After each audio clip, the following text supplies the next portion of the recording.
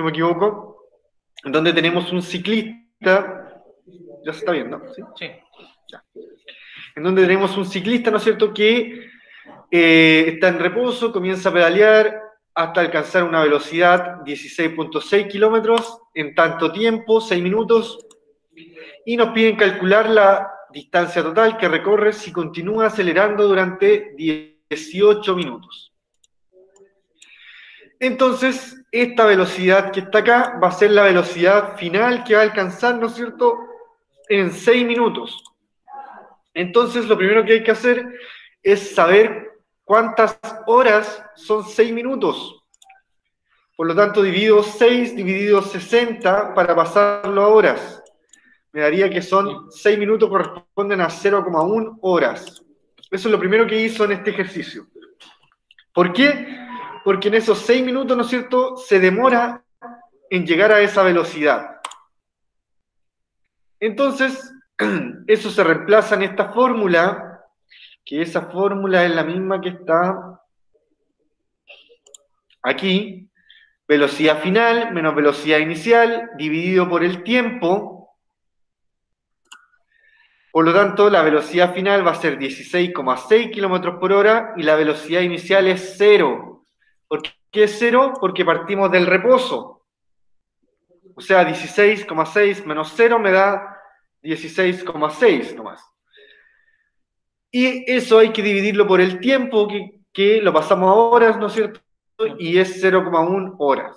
Entonces, 166, o sea, no, 16,6 dividido 0,1 me da 166 kilómetros por hora al cuadrado, que va a ser la aceleración que vamos a tener por este ciclista en ese, en ese circuito. Y al tener la aceleración, vamos a poder calcular ahora la distancia, ¿no es cierto?, que puede recorrer en 24 minutos, porque van a ser 24 minutos los que van a dar esa fórmula para cada, para sacar cada, cada cálculo de cada cosa eh, están en, la, materia, ¿verdad? Sí, mira, de hecho. ¿Cómo hacerlo? Eh, ya, mira, de hecho vamos a estar usando las dos primeras acá. ¿Ya? Dije sacarle una Sí, la tercera vamos a ver unos ejemplos, pero no la vamos a utilizar mucho. ¿Ya? Y con la segunda, esta que está acá, se pueden estar eh, obteniendo la fórmula de la aceleración y también la fórmula del tiempo. Ya la vamos a poner aquí también, para que la puedan tener. Por ejemplo, acá el tiempo, si lo quiero despejar, ¿no es cierto? Si lo quiero dejar solito, me va a quedar igual a velocidad final menos velocidad la primera dividido la aceleración va a ser igual al tiempo. ¿Cómo? ¿La primera de qué? Esta, la distancia. Cuando queremos calcular cuánto recorre algún cuerpo cuando está acelerando o frenando, vamos a tener que utilizar esta. Distancia es igual a velocidad inicial por el tiempo más un medio de la aceleración por el tiempo al cuadrado. Y esta es velocidad final, es igual a velocidad inicial más aceleración por tiempo. Y de esta misma, ¿no es cierto?, vamos a poder despejar el tiempo y la aceleración. ¿Ya? No es necesario aprendérselas todas. Más que nada aprenderse estas tres y vamos a poder sacar estas dos a partir de esa.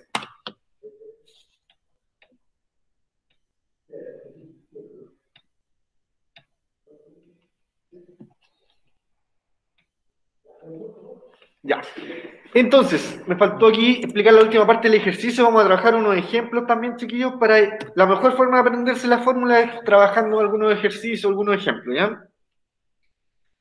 Entonces, habíamos quedado recién acá que calculamos la aceleración, ¿no es cierto? Velocidad final menos velocidad inicial dividido el tiempo.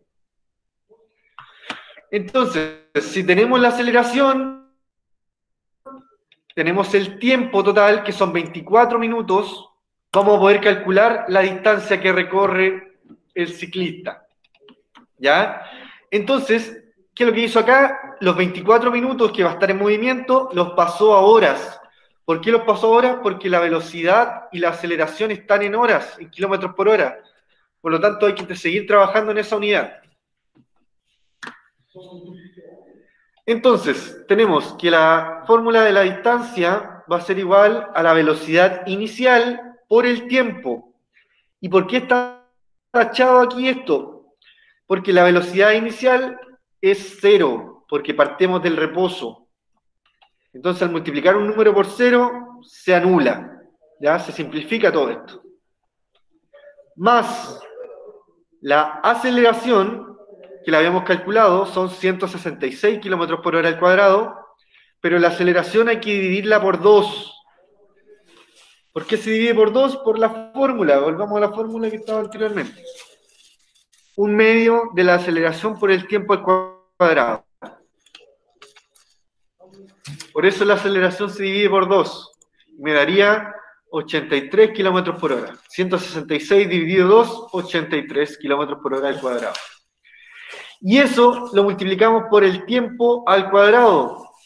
Y el tiempo me había dado 0.4 horas y 0.4 al cuadrado me da 0.16. Se me simplifican las horas al cuadrado y me queda el resultado en kilómetros. Ya eso también está bien, ¿no es cierto? Porque la distancia se mide ya sea en kilómetros o en metros. Como en este caso, la velocidad, o sea, la aceleración está medida en kilómetros la distancia también nos va a estar dando en kilómetros, 13.28 kilómetros. Alcanza a recorrer el ciclista a esa velocidad en 24 minutos. Entonces, viene otro ejemplo a continuación, que es el de un tren, ¿no es cierto? Un tren de alta velocidad que eh, eh, en reposo, ¿no es cierto? Comienza su trayecto en línea recta. Y tenemos, ¿no es cierto?, que va a tener una aceleración constante de 0.5 metros por segundo al cuadrado. Calcular la velocidad en kilómetros por hora que, alcanza el tren a los 3 minutos. O sea, nos piden calcular la velocidad final que va a alcanzar el tren a los 3 minutos. Por lo tanto, vamos a tener que utilizar la fórmula de velocidad final. ¿Ya? Hay dos fórmulas con velocidad final. La de arriba y la de abajo. ¿Cuál utilizar? Dependiendo las unidades, o sea, dependiendo de los datos que me estén dando, chiquillos. Entonces, como en este ejercicio me están dando la aceleración y me están dando el tiempo, vamos a estar utilizando, ¿no es cierto?, esta fórmula de acá. Velocidad final es igual a la velocidad inicial por la aceleración y por el tiempo. Esa fórmula, ¿no es cierto?, estaba acá. Velocidad final es igual a velocidad inicial más aceleración por el tiempo. Entonces, más que nada, chiquillos, estar atentos al reemplazar los datos a que estén bien las unidades. Ojo acá, dice, calcular la velocidad en kilómetros por hora. ¿Qué es lo que me están dando aquí? La aceleración en metros por segundo. Por lo tanto, primero vamos a tener que pasar estos minutos a segundos y después vamos a tener que pasarlo a kilómetros por hora. ¿Ya? Entonces, eso hizo primero. Los tres minutos los transformó a segundos y tenemos, ¿no es cierto?, que tres minutos por 60 segundos nos van a dar 180 segundos. Ese es el tiempo, ¿no es cierto?, en el que el tren va a estar acelerando, ¿no es cierto?, a esa, a esa aceleración. Entonces, velocidad final va a ser igual a la velocidad inicial, que es cero, porque parte del reposo, más la aceleración, que es 0.5 metros por segundo, en la que nos están dando, y por el tiempo que vimos que eran 180 segundos. Eso me da igual a 90 metros por segundo como velocidad final. Que es la velocidad, ¿no es que va a alcanzar el tren en 3 minutos. Y esta hay que pasarla, ¿no es cierto?, a kilómetros por hora. Y en la clase anterior, ¿no es cierto?, revisamos esta parte de acá, que dice una conversión muy útil. Y cuando queremos pasar de metros por segundo a kilómetros por hora, se hay, hay que multiplicar por 3.6. Por el contrario, si quiero pasar de kilómetros por hora a metros por segundo, dividir por 3.6. Como en este caso, quiero pasar de metros por segundo a kilómetros por hora, multiplico 90 por 3.6, me va a dar igual, ¿no es cierto?, a 324 kilómetros por hora, ¿no es cierto?, que va a ser la velocidad. Profe, y usted no nos no, no puede dar a nota, o, sea, no sale en algún lado donde dice, por ejemplo, para sacar esto tienen que dividir, para sacar esto otro tienen que multiplicar, ¿no? ¿Cómo, cómo, cómo? No sé. Pero aquí están las fórmulas. Vamos a tener que ir descubriendo, ¿no es cierto?, qué es lo que hay que ir haciendo. Mira. No, que de esto no se puede llegar así descubrir nomás, por profe, si es difícil. Sí, pues, pero es que esa es la idea, solamente con ejercicios vamos a poder ir haciéndolo, no hay otra forma. De hecho, si tú te pones a tratar de memorizarte la fórmula. Yo estoy igual que la compañera, no entiendo nada, profe, porque usted no nos da, por ejemplo, de vice. Yo pienso que sería mucho más fácil para nosotros, por ejemplo, metros por segundo para ponerlo a kilómetros por hora, se, no sé, darnos la fórmula, se divide, se multiplica, sería como mucho más fácil para nosotros. Pero si ahí estamos, si se las dijimos, pues. De metros por segundo a kilómetros por hora se multiplica por 3,6. El problema es que no está puesto ahí en el ejercicio, ¿no es cierto? Mm, claro. Y por eso yo lo tengo que decir. ¿Dónde está? No era ese. Este. ¿No es cierto? Acá no está multiplicado por 3,6, pero no lo puedo modificar. Ya tendría que colocarlo acá, acá abajito, indicarle aquí, se multiplica por 3,6 para pasar a, para pasar a kilómetros por hora, ¿no es cierto? Pero eso ya estaba indicado. Ya el problema es que no estaba indicado en ese ejercicio. Los ejercicios acá igual se saltan algunos pasos, por eso es hay que estar atento y pueden quedar colgados en algunas cositas. ¿Podemos colocar la fórmula de la pregunta? Sí. Sí. Sí, vamos a trabajar la pregunta esencial, chiquillos, así que... Ahí le vamos a dejar, la fórmula. Vamos a avanzar y la idea es que trabajemos la pregunta esencial en el tiempo de la clase, ¿ya? Entonces, viene aquí otro ejemplo en donde vamos a estar calculando la velocidad final, pero en este caso, ¿no es cierto?, vamos a tener una cierta distancia. ¿Ya? A diferencia del ejercicio de recién, nos dan el tiempo, ¿no es cierto? Acá nos dan el tiempo, tres minutos. ¿Ya? En este ejercicio no nos dan el tiempo. De hecho, ¿no es cierto? Se desconoce el tiempo transcurrido. Entonces, cuando se desconozca el tiempo transcurrido, vamos a estar utilizando esta fórmula que está acá, ¿no es cierto?, que es la que nos faltaba utilizar de estas tres que vimos anteriormente. Porque vimos un ejercicio de este, vimos un ejercicio de este otro, y de este no habíamos visto. Y es porque en las anteriores habíamos obtenido el tiempo. En esta no vamos a tener el dato del tiempo.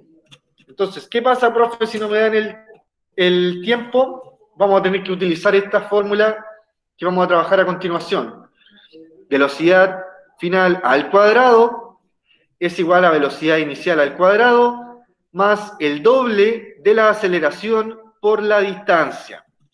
¿Ya? Entonces, importante acá, vamos a tener que estar sacando la raíz cuadrada. ¿Ya? Para, para eliminar este, esta velocidad del cuadrado y para que nos quede b solita, se saca la raíz cuadrada, ¿no es cierto?, del resultado que obtengamos acá y vamos a obtener la velocidad final, ¿no es cierto?, sin este cuadrado. ¿ya? yo no entiendo nada. Entonces, vamos a revisar este ejercicio. Voy a ver que correr este acá. Ahí sí. Dice, aquí no está planteado el ejercicio. Más que nada hay que fijarse, ¿no es cierto?, en la imagen. ¿Ya? Vamos a ver qué es lo que dice la imagen. La imagen nos está dando los datos. Posición inicial, 0. Parte desde la posición 0 y avanza hasta la posición final 200 metros. Entonces tenemos más o menos la distancia recorrida. ¿Qué más tenemos? Velocidad inicial, 10 metros por segundo. Velocidad final, incógnita. Es la pregunta. ¿No es cierto? La velocidad final es lo que vamos a determinar aquí en este cálculo. ¿Y qué otro dato nos dan? La aceleración. La aceleración es 2 metros por segundo al cuadrado. Con esos datos es suficiente para poder trabajar esta fórmula. Tenemos la velocidad inicial, ¿sí? 10 metros por segundo, se reemplaza aquí, 10 metros por segundo al cuadrado. ¿Y eso cuánto me da? 10 por 10 me quedaría, ¿no es cierto? Y eso me da un total de 100. ¿Ya? Elevé la velocidad inicial al cuadrado. Y eso me da 100 metros cuadrados por segundo al cuadrado porque todo se eleva al cuadrado ahí, incluso las unidades, más la fórmula. El doble, 2, por la aceleración, que habíamos dicho que era 2 metros por segundo, y multiplicado también por la distancia recorrida. 200 menos 0, 200. Simplemente reemplazar, ¿no es cierto?, en cada uno de los datos. Entonces, ¿qué es lo que hizo acá, no es cierto? Elevó al cuadrado del 10, me quedó 100, multiplicó 2 por 2, me da 4, y 4 por 200 me da 800, y al sumar 100 más 800 me da 900. Entonces, a los 900 se les saca la raíz. ¿Para qué les saco la raíz? Para eliminar, ¿no es cierto?, ese cuadrado que va a tener esta velocidad final. Y la raíz de 900 me da que es 30. Ya esto lo podemos hacer con calculadora, ¿no es cierto? Ponemos ahí raíz de 900 igual me da 30 metros por segundo. Como es velocidad, está bien, ¿no es cierto?, que esté en esta unidad de metros por segundo. Y si se fijan, ¿no es cierto?, aquí las unidades están por metro por, metros cuadrados al segundo al cuadrado, si le saco la raíz, me va a quedar en metros por segundo. ¿Ya? Si no entendieron mucho este, la verdad que no importa mucho, porque la pregunta esencial no se trata de este ejercicio. Ya vamos a estar trabajando más que nada. A ver. Vamos a estar trabajando, parece, la, la primera fórmula. Ya. Entonces, ¿cómo estamos de tiempo? ¿A qué hora terminamos muy bien? A las 4 o 20, 4 cuartos. Ah. Ya, vamos a trabajar un ejemplo. Bueno, ya hemos trabajado ejemplo. Acá hay alguna actividad, chiquillos. Está la fórmula incluso que hay que trabajar en cada ejercicio. ¿Les parece si les damos tiempo para que puedan estar realizando alguno de estos? Pueden hacer el primero, y la letra A. ¿Ya? Para que los revisemos en unos cinco minutitos, intenten realizar estos ejercicios. El número uno, van a tener que utilizar esta fórmula.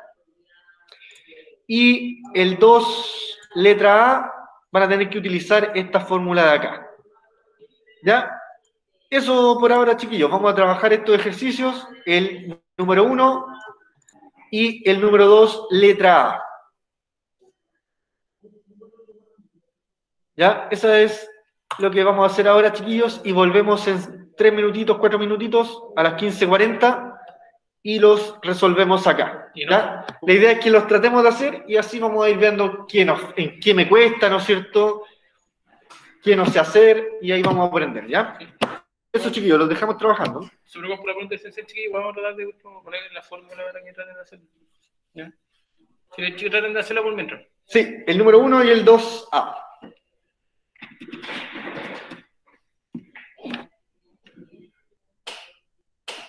Silencio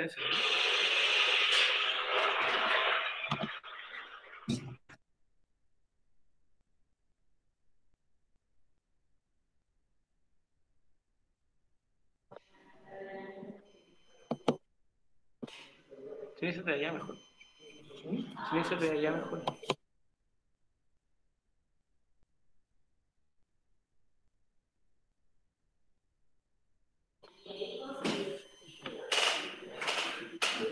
No, igual te escucho.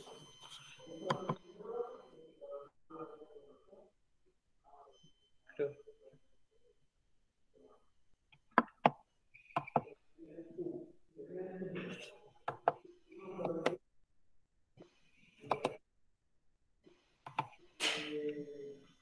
Sí, sigue escuchando, parece. Silencio silencio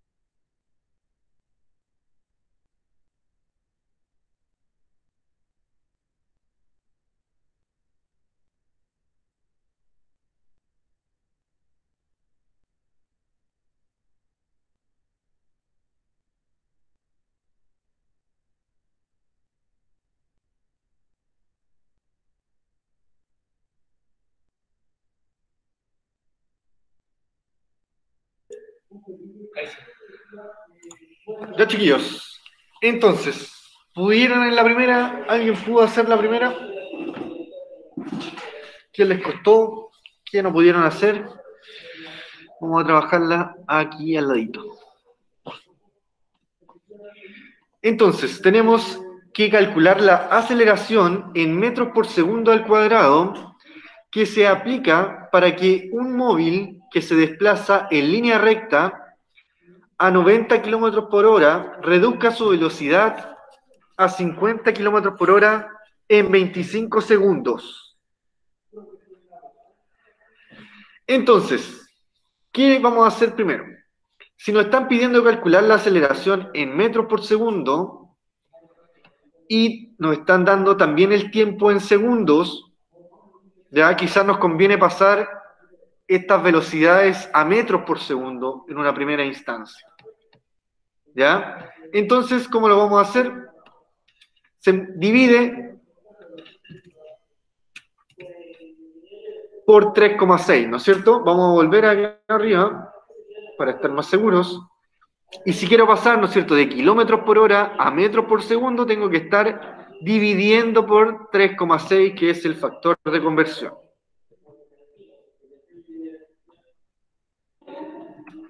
Entonces, se me perdió el cuadrito. Entonces tenemos que eh, 50, 90, 90 kilómetros por hora dividido por 3,6 me da igual a tantos, ¿no es cierto?, metros por segundo y 50 kilómetros por hora dividido también 3,6 también me va a estar dando el resultado de la velocidad en metros por segundo. Vamos a calcularlo. 90 dividido 3.6. A ver. 90 dividido 3.6. 2,5 metros por segundo. Y el otro, 50, Ah, parece que dividí mal. No, no, 90 dividido 3.6. Es 25. Y 50 dividido 3.6 es 13,9. Aproximando ahí 13,9 metros por segundo. Entonces, estas velocidades son las que vamos a estar utilizando, ¿no es cierto?, en la fórmula que está ahí planteada. Entonces, me va a quedar que la aceleración, aceleración va a ser igual, a minúscula, aceleración va a ser igual a la velocidad final, que ojo acá, ¿no es cierto?, la velocidad final va a ser 50 kilómetros por hora.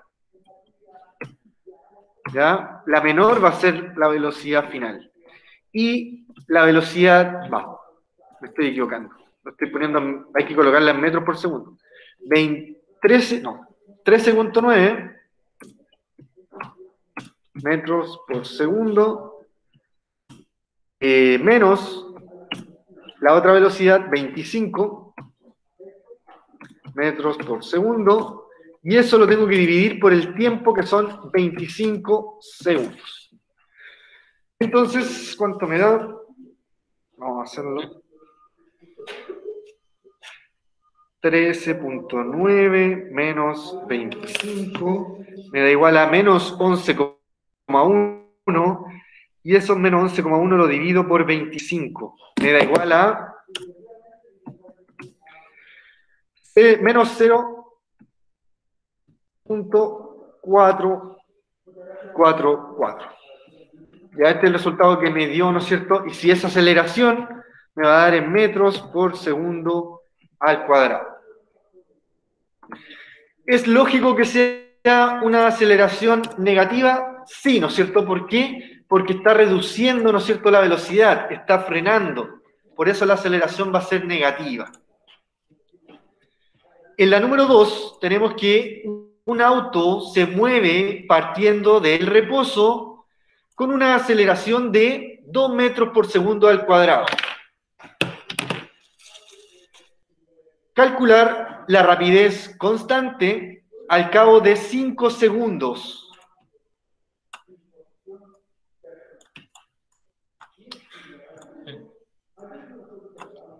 Entonces vamos a tener que estar utilizando la fórmula que me dieron ahí. Velocidad final es igual a la velocidad inicial más la aceleración por el tiempo. Entonces, al reemplazar, ¿no es cierto? En esa fórmula vamos a tener que velocidad final es igual a la velocidad inicial. ¿Cuál será la velocidad inicial ahí? Si parte del reposo, sería la velocidad inicial, ¿no es cierto? cero. Siempre que parta del reposo va a ser cero. Por lo tanto, se suma después, o se anula, no siquiera se coloca. Y la aceleración me la están dando ahí, 2 metros por segundo. Al cuadrado la aceleración. Y eso se multiplica por el tiempo, que en este caso serían 5 segundos.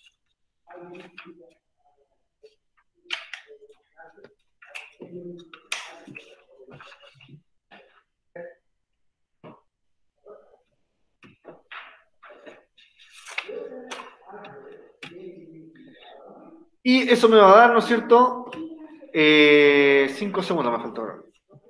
2 por 5, 10. ¿No es cierto? Eso va a ser la velocidad final. Velocidad final es igual a 10 metros por segundo. Recordad que la velocidad siempre va a estar en esta unidad, metros por segundo o kilómetros por hora. Ya, en la letra B, para aclarar, ¿no es cierto?, que puede estar la, la duda, que dice, por ejemplo, acá, rapidez constante al cabo de 5 segundos. Me dio esto, 10 metros por segundo.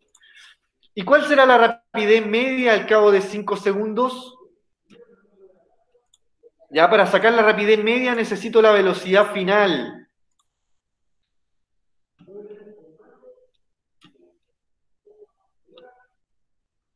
Ya rapidez media, lo vimos acá.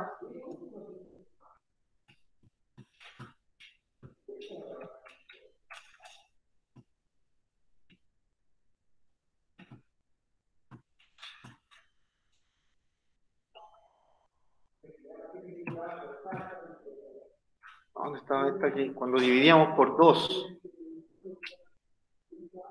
Esta. Esta fórmula, ¿no es cierto? La de rapidez media, nos va a servir para trabajar esa parte. La velocidad inicial es cero, la velocidad final es 10 metros por segundo al cuadrado, y lo dividimos por 2 y vamos a tener una velocidad media, ¿no es cierto?, que va a ser como un promedio de la velocidad entre la velocidad inicial y la velocidad final. ¿Ya? Eso, esta fórmula hay que utilizar, ¿no es cierto?, en la rapidez media que señala en esa segunda parte. Y la distancia recorrida en 5 segundos, vamos a estar utilizando, ¿no es cierto?, la fórmula de la distancia que es la que está acá, ¿no es cierto? Distancia es igual a velocidad inicial, que la tenemos por el tiempo, que sería tanto tiempo, 5 segundos, y estos datos también los tenemos, también podríamos sacar.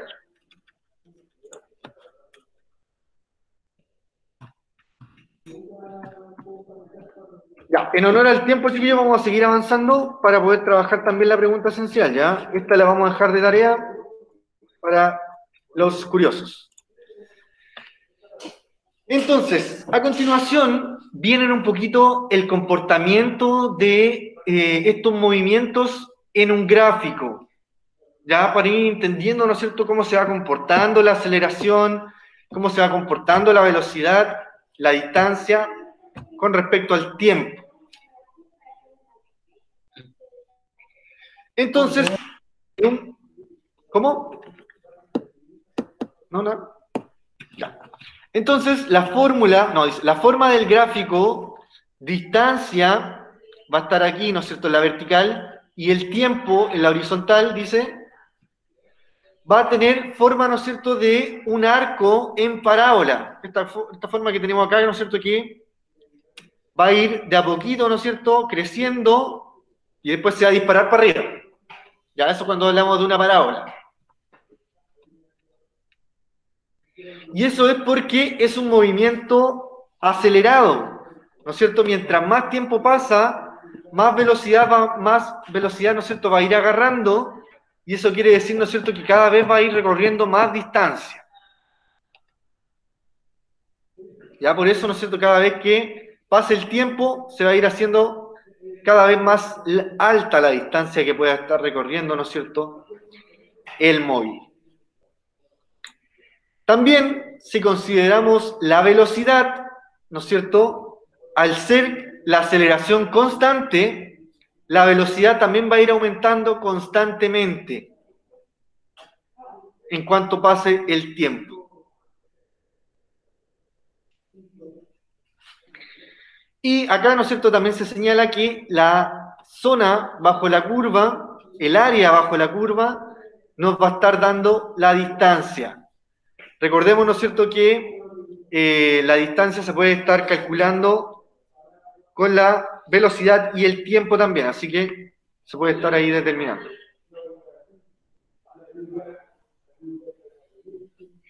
Pero aquí, ¿no es cierto? Importante, la velocidad va a crecer en forma uniforme. ¿Por qué? Porque la aceleración es constante.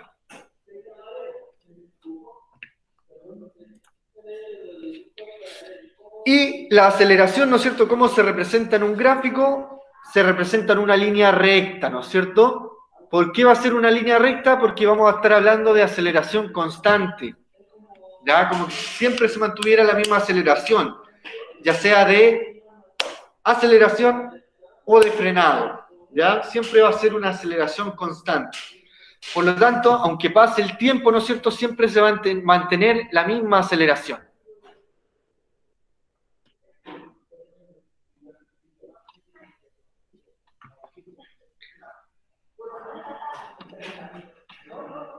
Por último, también tenemos el comportamiento de los gráficos cuando el movimiento es retardado. ¿Qué quiere decir que es retardado?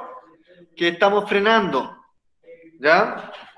Entonces, si estamos frenando, la distancia recorrida, ¿no es cierto?, cada vez se va a hacer más menor, ¿no es cierto? Cada vez estamos disminuyendo la velocidad, por lo tanto, la distancia va, vamos a recorrer cada vez menos distancia al paso del tiempo. Por lo tanto, también la velocidad va a estar disminuyendo constantemente en forma uniforme en cuanto pase el tiempo, hasta llegar a cero la velocidad, hasta detenerse. Y en este caso la aceleración va a ser constante también. Aunque estemos frenando igual se va a estar considerando, ¿no es cierto?, constante, pero va a ser negativa, ¿no es cierto? Si se fijan, está bajo el origen, por lo tanto sería negativa, porque estamos frenando, ¿no es cierto? Estamos disminuyendo la velocidad.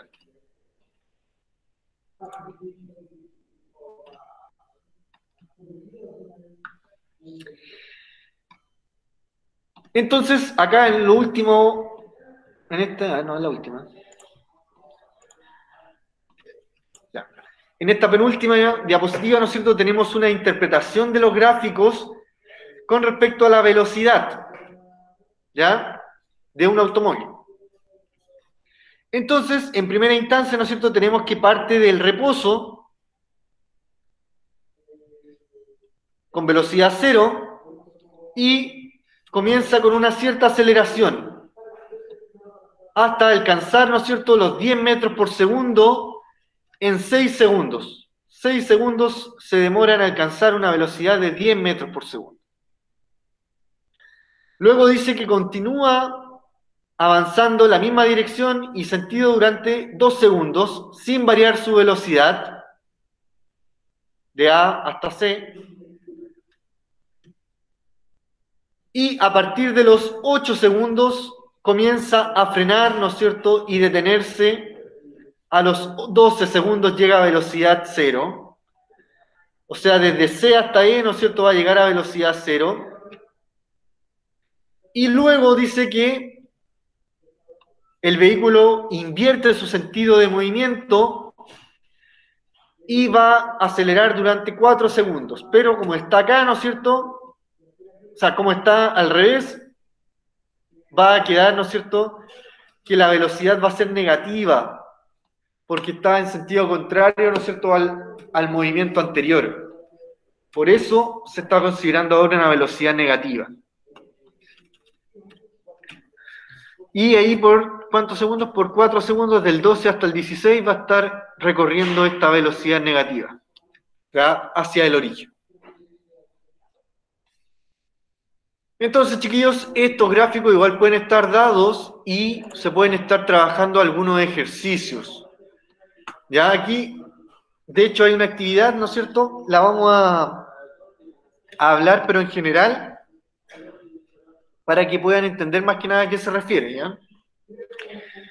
Dice, la representación gráfica del movimiento de un cuerpo es la que aparece, ¿no es cierto?, en la figura. Vamos a tener distancia versus tiempo. Entonces, ¿qué tipo de movimiento se genera en cada tramo? Razona la respuesta, o sea, piensa qué tipo de movimiento se puede estar generando. Rectilíneo uniforme o rectilíneo uniforme acelerado. Entonces, si tenemos que de una distancia cero, en un tiempo cero, ¿no es cierto?, se pasa en dos segundos a una distancia de 30 metros, ¿no es cierto?, recorrió en dos segundos. Se puede estar determinando, ¿no es cierto?, la velocidad, ¿ya? la cual en un primer momento, ¿no es cierto?, pudo haber sido uniforme. ¿Por qué? Porque es en línea recta. Ya si hubiera sido acelerado, como vimos recién, la distancia se hubiera comportado con esta curva, porque hay una variación, ¿no es cierto?, en la velocidad. En cambio, como es recto, va a ser uniforme.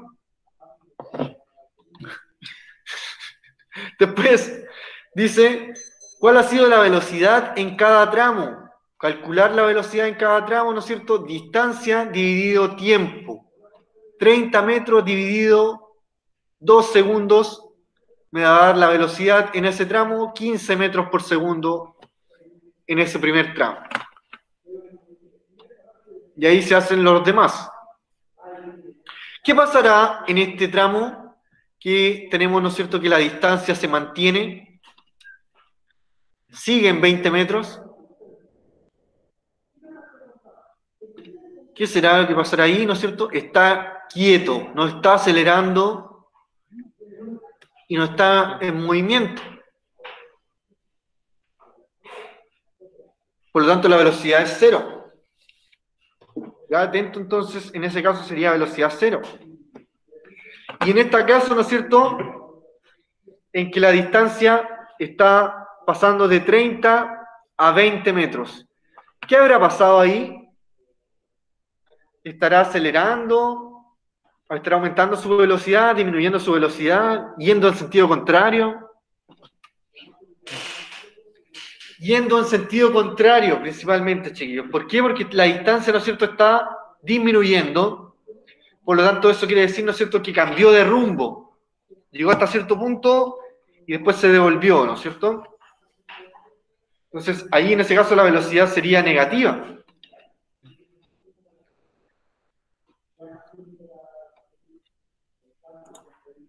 Y la última, ¿no es cierto? Habría que hacer todo el ejercicio para calcular cuál es el desplazamiento de todo el móvil en este tiempo.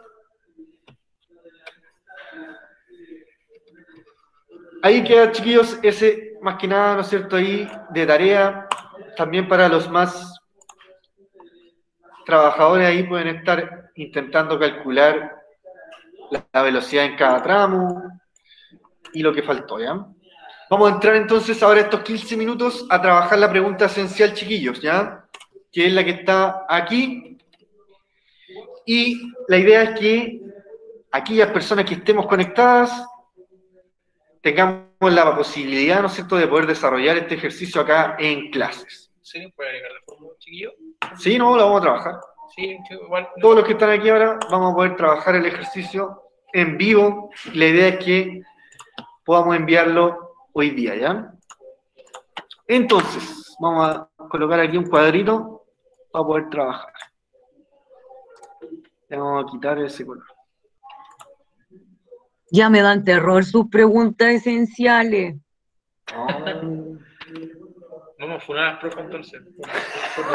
Por, desubicados No, sí, esta. Algo así. Ya, dice. No, si igual difícil. Un ciclista está moviéndose, moviendo a razón de 12 metros por segundo. Cuando tiene que frenar de emergencia porque se le cruza un gato a 2.5 metros delante de él. Y en solo 0.4 segundos logra detenerse. Las preguntas son, qué aceleración tuvo el ciclista y qué distancia alcanzó a recorrer, ¿no es cierto?, ahí en su frenado. ¿Habrá sido suficiente este frenado para poder evitar atropellar al gato? Entonces son varias preguntitas, chiquillos, que tienen que estar respondidas. No basta solamente con realizar el ejercicio. ¿ya? Hay que responder esa pregunta. ¿Qué aceleración tuvo? El ciclista tuvo tanta aceleración. ¿Qué distancia recorrió? Tantos metros. Con esta distancia no alcanzó a chocar al gato o sí alcanzó a chocar al gato. Entonces, esas respuestas tienen que ir, chiquillos, ya para tener el 7. Obviamente, desarrollar el ejercicio, colocar las fórmulas y escribir la respuesta completa como está ahí destacado en paréntesis. podríamos colocar ahí las fórmulas. Entonces, sí, ¿qué vamos, a, vamos a colocar primero. Ay, no me gustó este cuadro, porque me lo tira para el medio de la letra. Eh, chiquillos, profe, haga una ayudita en las preguntas. ¿eh? ¿Qué es lo que hay que hacer primero, chiquillos? En cualquier ejercicio. ¿Qué harían primero ustedes? identificar los datos. Eso, muy bien. Entonces, este primer dato que está aquí, ¿qué es lo que será? Un ciclista está moviéndose a razón de 12 metros por segundo. ¿Será la velocidad inicial o la velocidad final?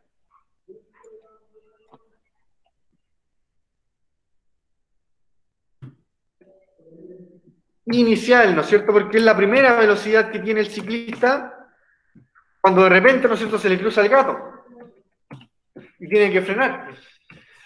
Entonces, si tiene que frenar de emergencia, ¿a qué velocidad va a llegar? ¿Cuál sería la velocidad final? Cero. Cero, porque va a llegar a detenerse, ¿no es cierto? Entonces, oh, esa sería la velocidad final. Cero.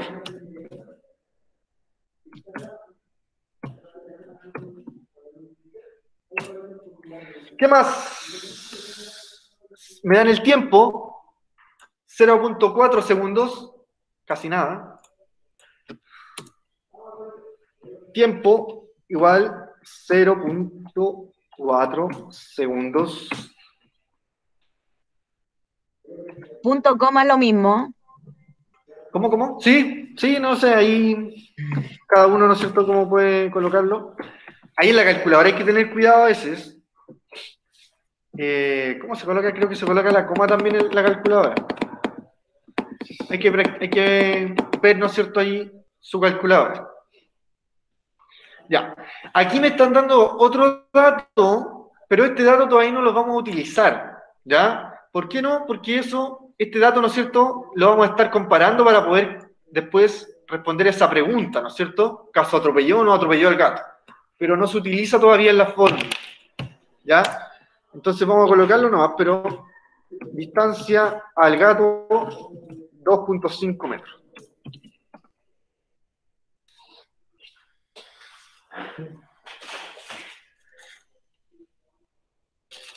Entonces, chiquillos, vamos a volver atrás un poquito para mostrarles las fórmulas. ¿Ya? ¿Qué datos tengo? Velocidad inicial, velocidad final y el tiempo. ¿Qué datos tengo que sacar? La aceleración que tuvo el ciclista, principalmente en este caso va a ser aceleración de frenado, ¿no es cierto? Va a estar disminuyendo la velocidad. Entonces, primero, ¿cómo puedo sacar la aceleración? ¿Con qué fórmula?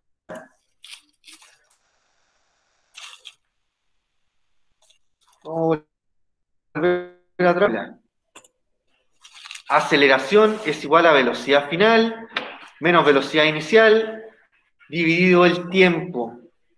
¿Ya? Esta fórmula vamos a tener que utilizar en primera instancia con los datos que tengo.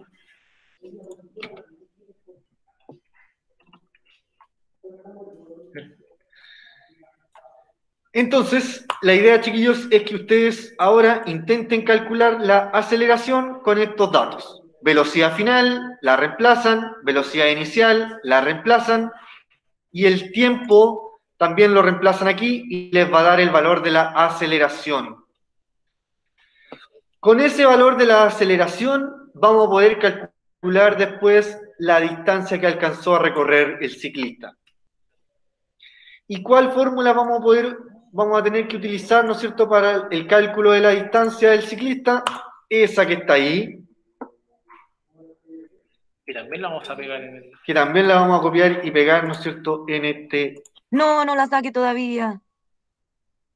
En este que está acá. A ver, vamos a dar un espacio. Corre para allá. Profesor, donde dice velocidad inicial y tiempo, eso se multiplica. ¿Dónde, dónde, dónde? En la Esta. segunda fórmula de distancia, Ah, sí, se multiplican. ¿Ya? Ojo que en estas fórmulas, por ejemplo, esas cosas no están indicadas. Por ejemplo, acá también, AT también se multiplica y no está puesta, ¿no es cierto?, la multiplicación. ¿Ya? En matemáticas se usa mucho, mucho eso, que a veces la multiplicación no se indica y se colocan simplemente los, eh, las incógnitas o los valores así juntos. ¿Ya? No es primera vez, ¿no es cierto?, que se van a topar que no está indicada la multiplicación y sí se generalmente multiplica, ¿no es cierto?, como se lo diciendo. así, se multiplican. Claro, y profe, sí. eh, ¿cuándo se divide entonces? ¿Cómo saber eso? ¿Siempre por guiarse por la fórmula nomás? Sí, po, por la fórmula se divide. Por ejemplo, acá estamos dividiendo y acá vamos a tener que dividir también por dos la aceleración. Un medio, ya. ¿Ya? La aceleración la divide por dos y ya está listo. No hay para qué dividir el tiempo por dos, sino que si divide la aceleración por dos, ya está listo. Ya, entonces, ahí está todo lo que tienen que hacer, chiquillos. Los datos. Con estos datos calculan la aceleración, con esta aceleración la reemplazan aquí, van a tener estos mismos datos, la velocidad inicial, para, El ¿habrá sido tiempo- suficiente la frenada para atropellar el gato? Eso como... Ya, pues, eso, a esos chiquillos tienen que escribir chiquillos, primero que todo el desarrollo, identificar los datos, y posteriormente donde dice debe además escribir su respuesta, entonces ustedes tienen que escribir su respuesta y así como. Sí, Ese escrito, eso personaje- escrito. Sí, pues, Lo sí, sí, atropelló, el no lo atropelló. Lo atropelló, no lo atropelló. Claro. Entonces, eso, me re- nos tienen refiero. que responder la pregunta. Sí. Entonces, chiquillos, aquí van a Pero obtener una se distancia. cálculo son las dos primeras. Claro, yo con estas fórmulas nomás, realizando estas fórmulas van a terminar el ejercicio.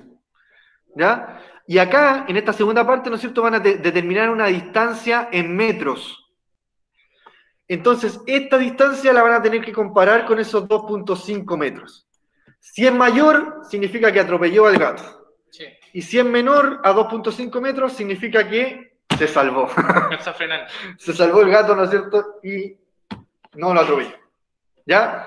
Más no podemos ayudarle, chiquillos, porque si no se lo haríamos no es la idea. ¿Ya? Pero casi, ¿no es cierto?, quedamos ahí con los datos, obtienen la aceleración y después la aceleración la trabajan acá. Ojo que la velocidad inicial no es cero como las anteriores, sino que la velocidad final es cero. ¿Y a dónde ocupo la velocidad final? Acá en la aceleración. Velocidad final menos velocidad inicial. Sí, hecho iba a 12. Iba a 12. ¿No? Entonces. Claro. Nos daría menos. ¿Cómo 12. ahí se, se restan esas dos y se dividen por el tiempo? Claro, nos daría negativo. Atentos que nos va a dar negativo porque está disminuyendo la velocidad, está frenando. Ya nos va a dar, ¿no es cierto? 0 menos 12. Por lo tanto, nos va a dar menos 12, Menos 12. dividido el tiempo. Dividido por. Ahí está. Y le va a dar un Pero valor para negativo. ponerlo a la entonces- calculadora no se coloca negativo, ¿no? ¿O sí? Sí, sí se coloca negativo porque tiene que colocar ahí el menos la velocidad inicial, que sería ¿Y 2. cómo se coloca en la calculadora? Es que ahí 0 menos 12 te debería dar menos 12, ¿o no? ¿Cómo le escuché cortado? Igual porque estáis dividiendo. A ver, deja ver, deja ver en mi calculadora del teléfono. 0 menos 12. Te dan Sí, me da menos 12. menos 12. Sí, solito lo va a hacer. Dividido el tiempo 0.4. Si pones 0 menos 12, te va a dar menos 12 negativo, solito, la calculadora. Y ahí me da el valor de la velocidad, que sería... no se ve nada. Spoiler, spoiler. Spoiler. Pero Y ahí con la, o sea, con la aceleración la reemplazamos en la otra y me tendría que dar la distancia y comparo la distancia. Y yo chiquillo ahí con esa ayudita, ¿no? ¿Está tan difícil ahora?